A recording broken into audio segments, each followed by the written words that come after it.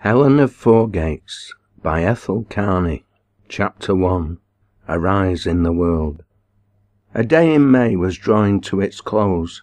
The country between Brungerley and Little Moreton took on a wilder look as shadow after shadow obliterated signpost, trespass board, gate, stile, and the little fences put up by small farmers. This North England changed subtly from a domesticated, intersected land into one huge dark county. Night, with a laugh of anarchy, blotted out the symbols of law and order, gave infinity for acres, reclaimed for a short time the wild that was half tame, and lent a sense that here fierce, dark deeds had been done and might be done again. For why should not fierce, dark deeds happen here again? The glimmering before the final closing down of darkness showed woods blackening against the sunset, woods bearing names that told of the worship of Odin and Thor. Rocks going blackly into the gloaming were said to be the altars of the Druids. Rain from the northern clouds had fallen into those rock basins, unprofaned by the human hand. Those bridges, becoming dense and iron thick in their blue blackness, as they spanned river and broad stream, were many of them the work of Roman soldiery. A few watercourses still held the red rays of sunset. They glittered like fire snakes, twining through the dark opaqueness of the landscape, murmuring through funereal waving plumes of blackening grass and rushes. They had witnessed the chasing of witches to their deaths. Here, where all was now still, save for the wailing cry of the peewit, those beings had shrieked aloud their innocence, or borne aloft on the maddened wings of ambitious ecstasy, had proclaimed their power to raise the quick and the dead, to curse if they could not bless, hate if they could not love, clothing themselves with sombre majesty, playing with elemental fires, rather than eat porridge humbly, bow to the squire, and tremble before the priest. A shuttle of darkness ran across the sky, weaving a web over earth, water, and the air, making a scene fit for such power-loving mortals to move in, as seen from the old road running between stone walls. High on the darkening hills, those stone walls encroached. Storm-driven sheep might cower behind them, their impotent bleatings drowned in the crash of thunder and clap of cloudburst. The hills looked broader, higher, as they blackened. The sky, still red between the gaps in the ice of the hill walls, gave an uncanny, dizzying look to those rifts in the ebon gloom, as if they led down and under the edge of the earth. But over there were other hill ridges, their peaks hidden in mist and cloud. The valleys between were strewn with factory towns, here and there was a furnace, whose glare and after darkness would soon change the night sky like the eye of some fire god opening and closing. Over there, too, lay little Moreton, the trampo, overshadowed by the Pennines, damp with the rolling vapours of their heads. It received into its arms of crooked streets the weak, the broken, the incapable, the unwanted, and, anon, the rebellious. It was a bowl in the hills. The towns round about spat away from themselves those who were broken, or those who would not bend. They became tramps. They fell into this giant spittoon of sober sorrow, drunken mirth, where the man who was not wanted took the woman who was not wanted, where they toiled together, drank together, fought together, recognizing no law but necessity. The old road knew the feet of the weary race who floated in and out of Little Moreton, each time disgusted and desperate. It ran away from it towards the grand sweep of moors, but it ran back to it, hopelessly, helplessly. Curlew, peewit, and grouse called apart and together. It was like the cries of three separate hearts, yet the moor had owned them all. A few scrawny bushes bending over the stone wall were caught by a wind which started up in the darkness. The unseen hand of it swept the branches. A little croon of shuddering joy ran through bush, furze clump, the million field rushes, the rusty heather. Soon everything was shouting with wild, restless music, like the fierce cry of a fierce heart for love or hate or power, all sweet things. It grew ever darker. Wind, blackness, solitude. It was witches' country at the hour when their spells were worked, when Will o' the Wisps carried his wavering lamp over black moss, blacker pool, and shaking bog, when Barguest, the moorland spirit dog, followed the lonely traveller caught in the net of darkness, the weird paws sounding splosh splosh behind him on the soppy ground. It was the hour when children spawned by the bog were found, to be claimed at length by the bog, after they had tasted human joy, human sorrow. In the sky, one lingering beam of light trembled like a sword, dipped in red, against a pall of death. Woo! Woo! shouted the wind deliriously. Two pairs of heavy footsteps sounded through the darkness. By and by they paused. The light of a match spluttered upon the gloom. On they came again. Beside a milestone they paused. Two dark figures were almost indistinguishable from the surroundings, but their voices flowed into the night. The tone of them was like a tired curse. The nigher I get, the more I feel like turning back, confessed one voice. In answer there was a sound of a laugh that had in it callous scorn. Flayed of a woman, jibed the one that had laughed. Thou doesn't know Sally, said the first man weakly. When I think of her face, it all seems madness what I dreamt by the doss house fire. It's a sort of madness comes o'er a tramp now and then, to go back to the respectable folk. The footsteps came to a pause. The second man laughed again. That really means it. To a walked this way for now, he exclaimed, a comical wonderment in his voice. Nay, not for now, said his companion, for I'll sort o' to be satisfied for another year. A man that can't manage a woman, jibed the other. Give us a leap, said his companion. Then I'll be off back, and mind thou never meets thy match. There was the sound of his pal fumbling in his pocket. I'd smash her jaw or her heart, he said determinedly. Here thou art, but buck up, owd lad. There's a pub in village only half a mile away, a pub with a soft-hearted landlord and a doubter as hard as nails. Come and take lessons off me how to deal with the creatures. I'll promise to get snap and rattle for thee and me without wearing a penny piece. There was a pause. This last appeal seemed to be effective.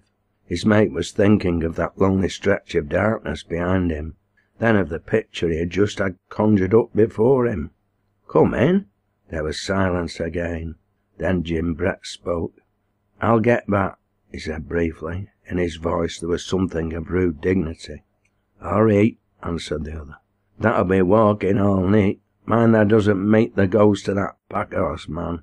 He carries his own head under his arm. Jim Brett chuckled now. I'm no flayed of ghosts, he said, but by goff I were flayed when I thought of Sally's eyes looking me through.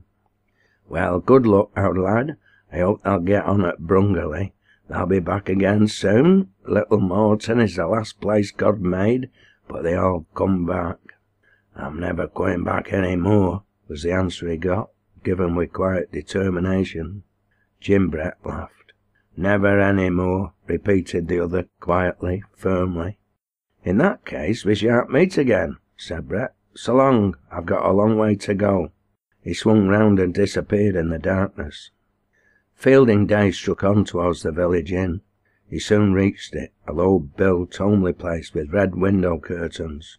His eyes glinted with hungry longing. He entered, standing in the full light of the bar. Dainty Polly Cherry looked up, paused, and stared at that which stood before her. If a scarecrow could look handsome, it might be said that Fielding Day was such a handsome scarecrow. His rags appeared to have been gathered with a harlequin-like disregard for harmony, but it was the boots upon him peering below the frayed edges of his trousers that told his class and clan. They clung to his feet by some miracle, revealing at intervals pallid, dirty toes. He was a tramp weaver on the rocks, as his clan would put it, rude poetry in the symbolism they used so callously. He had the face of a man who has left dreams behind. Grand neat, he remarked to Polly Cherry with a nod almost of patronage. She looked at his clothes, baffled by his own unconsciousness of his position. He was a tramp. Yet he spoke as if he had honoured the place by straying in. She decided not to notice him, but even as she did so, his eyes caught hers and held hers. It might be a worse night, she said, astounded to hear herself say it. The kitchen's to the left. The tramp nodded, passing along till he came to the open door of the kitchen. Entering, he sat down on a form, then took out a broken stem pipe and lit it. He looked through the smoke that curled from the pipe upon the scene before him. Low roofed, black beamed, hunting pictures on the buff painted walls. The room was occupied by a company of rough, homely men. They also sat on forms ranged round by the walls, white boarded tables before them, holding their blue banded pint pots. From the rafters hung oaten cakes, sweet herbs are drying, and flitches of cured. A big fire spluttered in the wide grate. Over it hung a stew pot, occasionally spitting into the fire. The scent from that pot penetrated every corner of the long room. Firelight and lamplight brought gleams from silver and pewter in a corner cupboard. In a large brass-wide cage a parrot strutted upon its perch. There was a lull in the conversation, a waiting expression on the various faces. Some rivalry appeared to exist between a ruddy, pumpkin-bellied man and a pale little chap whose coat, covered with threads of cotton weft, stamped him as a weaver, whilst the tin food box and tea can standing on the floor between his feet intimated that he had not yet been home to his tea. The ruddy man looked scorn at his opponent. Then, leaning across the table towards him, he apparently went on where he had left off. She's the finest pair of e'en in her head, fra here to John o' Groats, he said warmly.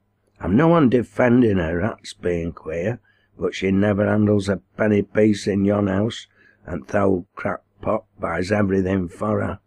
Andrew there says no woman as 'ud wear such hats can be reached in her head. She don't buy them hats herself. Then he says she goes maundering round in dark and wheat as if she were a Pendle his witch. Why shouldn't a lass go out in the wheat and dark if she wants to? It's hardly darker anywhere nor in yon farm kitchen, with hills coming down nights at Winderstone, and river crying away below like it can't help it, and all them dark muttering trees about. And then look at th' old chap, always quiet and broody a chunnerin to hisself, or else daft and in all mats of mischief when the moon's at full. And she's got no friends save my wife Lizzie. If that lass had had a grain of madness in her, she'd ha' gone by this. She's all reet. I'd lay my neck to hayseed on it. And any chap that says otherwise has got to prove his words, or I'll make him eat 'em. So look sharp, Andrey, for I want to be toddling home. Ay, prove thy point, Andrey, said an old man with a white pow, his nostrils dark with snuff taking, his eyes cute as a weasel's. She's a lass I shouldn't fancy, as sure as my name's Ben Ling, for she looks like she won't wait to be axed. But it's a serious thing to say anybody is only ninepence to shilling, and the least I can do is to prove she's dotty. I could prove it reet enough, said Andrey knowingly, but I don't want to do lass any harm. His opponent pricked his ears up at this. There, said Teddy Tripp triumphantly, he can only cast innuendos. None of them long words, Teddy, drawled somebody. It isn't fair in an argument. Plain English'll do for us. Andrey sniggered. What I say is, said he, to use short words as everybody knows, and not try and knock folk down with a foreign language. There was a murmur of applause. Teddy got restive. Art going to prove what tha said about Ellen Mason, or come round back? he exploded after a moment, in which the blood of a race of fighting men had risen in him. Somebody pulled him down in his seat. I've told thee, said Andrew solemnly, I don't want tarnt, lass. It were only by accident subject came up, but I could prove it reet enough. Thou can't, sneered Teddy. Thou'rt wriggling now. Can't I, by Gough, said the little man. He squared his narrow shoulders at the challenge. An old beer for Andrew, called someone, and Polly Cherry entered, bringing it. She cast a look at the tramp as she set it down. He did not order. She saw the game. He was waiting until Snap and Rattle was served out to get it for nothing. She determined he should not have it. The tramp smiled, meeting her eye, and again she did not say what she wanted to say. Well, said Andrew, it's five years since this fall. I were out of work, and wife had been crying all morning. We'd little Link cupboard.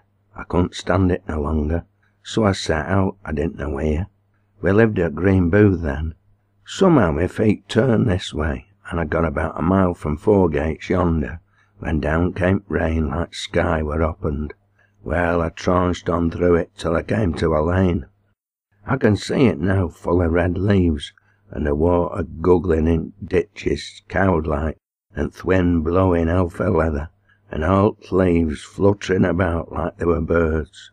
Old Mother Chatterts might have been after 'em wi' a broom, and by Gough, if I didn't pass under a tree with one of them dark clocks in branches, they call 'em witches' brooms, seemed like an ill sign. Then I came to a brig with water as black as thace of spades. I stood there and tried to light my pipe, but it wouldn't light for my matches had got soddened.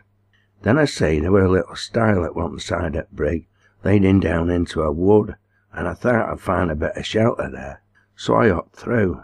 The sky were dark where there weren't no trees, but it was that thick you could have cut blackness with a knife and fork in wood. Bits of light glimmered through on red leaves. I found a place under a holly, with ground under as dry as snuff, and I felt tired and threw myself down to rest. It were welly pitch dark where I lay. I could hear th' rain tippling down like it were being poured out of a bucket that would never be empty, and I lies there wishing I were at home, when, just then, the wind stopped, and I hears a voice that made my blood run cold. It were rayther a nice voice, but there was summat in way it spoke made my heart go pitter pat. It were like it were chanting, and fiercer nor aught I've ever heard, though it weren't loud, but it said every word like it were being burnt into eternity. It were calling a name, a man's Christian name, but aught more unchristian I ne'er heard. And it goes on to address him, as if he stood there, and all were dark, I could see now, and suddenly it dawns on me, as I lies with me breath held for fear, that I'm out in some sort of a wedding between two folk, though I can see neither. Andrew stopped and shivered. His pale eyes appeared to look beyond the room he sat in. What he was feeling conveyed itself eloquently to the company. Don't give us the creeps, Andrew, said Ben Ling. Creeps isn't a word for what I felt, he said, lifting up his empty glass. He set it down and moistened his lips while someone gave the order he'd forgotten. Well, the voice goes on, repeating a ceremony more or less like they have in Four Gates Church yon, save for queer little bits pushed in, and save that this same voice answered for both parties, the chap never having a word to say for himself, and nowt to be seen o' either. The words of the wind up were the wildest of all. I'd a good memory at that time, and when I got home I wrote 'em down, and they sort of fascinated me.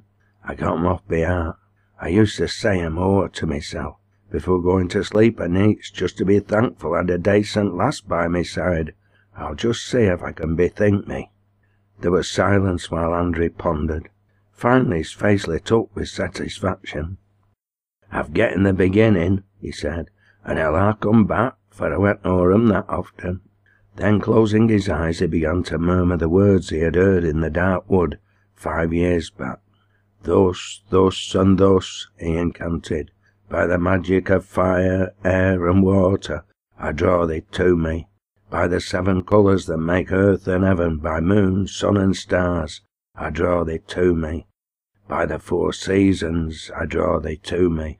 From the four corners of the globe I will draw thee to me.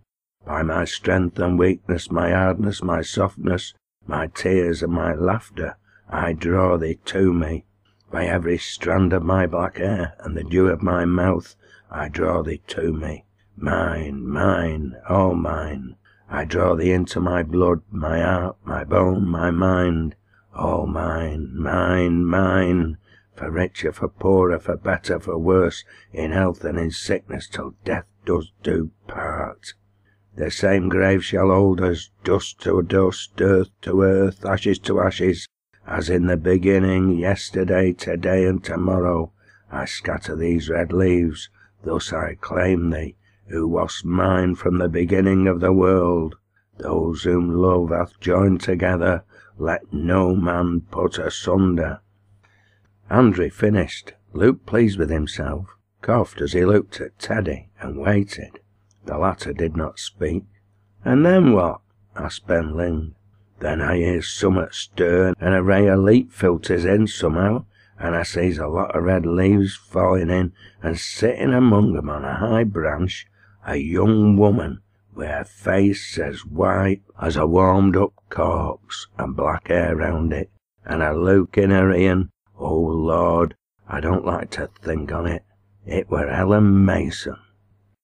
I found it out afterwards, but I thought then for sure she were a witch, and I took to my heels as if old Nick were after me, and I found out afterwards she were Ellen Mason, and how they'd all gone into top story and I puts it to the company of sound English chaps to say if any young woman was set up in a tree top in a storm, with her hair down her back, wedding herself to a chap that weren't there. Mad? If that's sane, what's mad?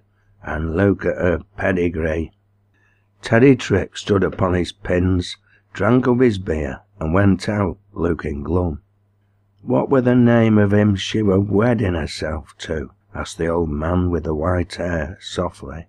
Andrew looked at him, tapped his nose, as much as to ask him if he saw any green in the corner of his eyes. Then the talk turned on ferrets, and had barely got going when a step sounded in the doorway. The others started, smiling in extra efforts to look at ease. "Hello, Martin," they greeted him. "Come and sit here."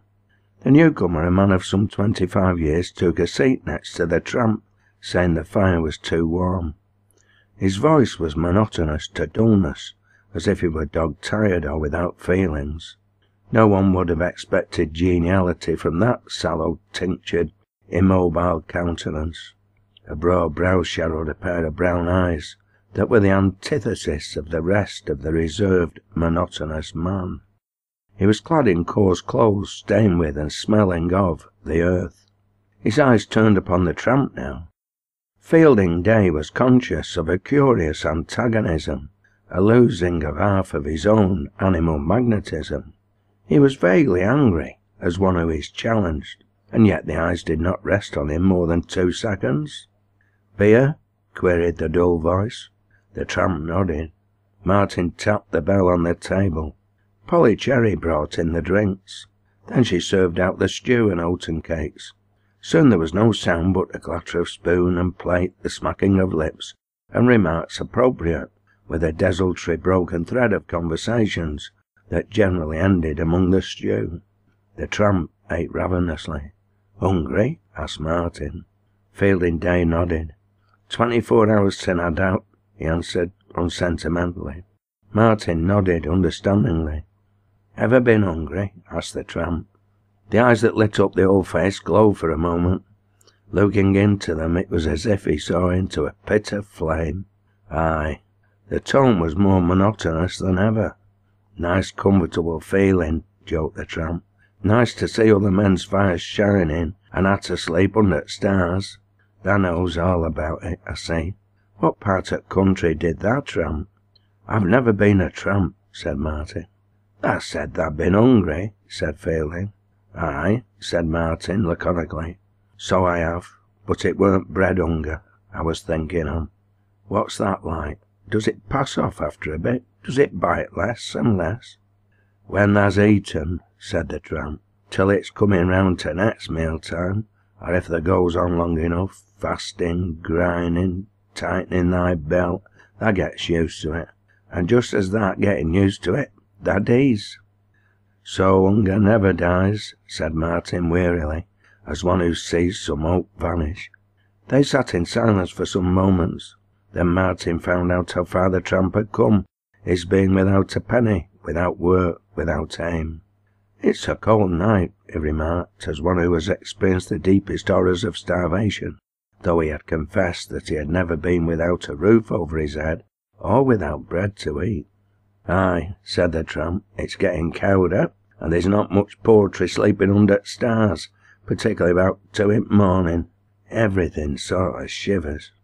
Old Mason might give thee a doss in the barn, said Martin, but they'd have to double earn it tomorrow. The tramp signified his willingness to accompany Martin to the farm and try. If it failed, it only meant sleeping out just the same. In five minutes they were making their way through the night towards Fourgates Farm. They were walking into a boundless blackness save for the gleam of a few stars. The turf under their feet was soft after the limestone road. Then a deeper blackness rose before them. They were ascending a small hill. It was this that deepened the darkness. Somewhere in the distance a dog barked. The echoes shouted it back. Is it far? began the tramp. His companion did not answer. He had stopped. Fielding felt that he was peering into the gloom. A tiny speck of light penetrated the darkness. It came nearer. Martin took a step or two forwards, then paused again, irresolute. From the depths of his throat stole a muffled oath, the tone of which conveyed a weary impotence, irritation, despair, anger, and yet something that had in it admiring wonder. "Is the Will o' the Wisp?" asked the tramp. Martin Scott mumbled something in confusion. "I think it's Miss Ellen," he said in his monotone, after another silence. She'll be coming for a walk to the yew tree. She generally gets so far of a night. The wavering light came nearer to them. A dark figure was silhouetted on the light made by the lantern. Fielding was walking behind Martin, as the path was narrow. The woman did not see him. Martin, she called. In her voice was the abandon of a wild thing that has been caged and has slipped out by chance into freedom. Martin! It was a voice with passionate cadence. She might have repeated that name over to herself in a hundred moods. It made the tramp feel one too many, to wonder what she would say next. Even as he wondered, she lifted up her lantern, stared into Martin's mask-like face, and said with a sudden restraint, I was just setting off to the yew tree, that's all, Martin Scott, and the wind got in my blood coming down the hill. Fielding Day did not know whether she had seen him or not, but the next moment her glance included him. He stared back at her, as boldly. Then she turned from him to Martin, ignoring his presence.